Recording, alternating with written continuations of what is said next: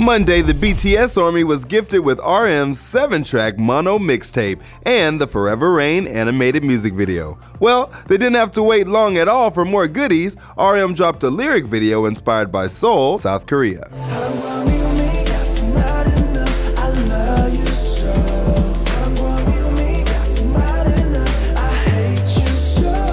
The Seoul video features a brief shot of RM sitting in a car outside a convenience store on the edge of the Han, and includes a short phone conversation where he describes his plans to leave. The mono mixtape or playlist, as the BTS member has dubbed it, was released Monday just as the group departed Europe for the local leg of their Love Yourself World Tour. The boys posted many pictures of their adventures in Paris on Twitter. For all things BTS, make sure you always keep it logged on Billboard News and hit subscribe. For Billboard News, I'm Tetris Kelly.